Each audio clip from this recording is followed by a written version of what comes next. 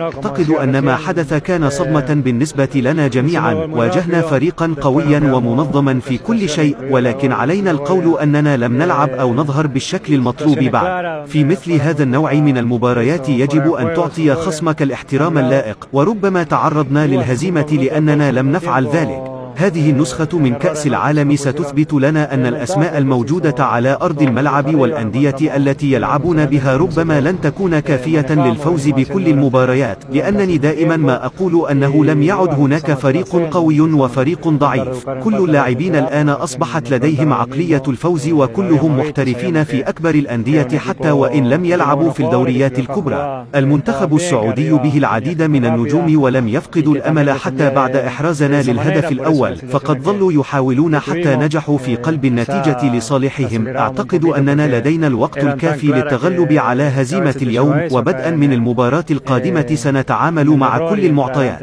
أريد أن أهنئهم على الفوز وأتمنى لهم التوفيق في مبارياتهم القادمة في المونديال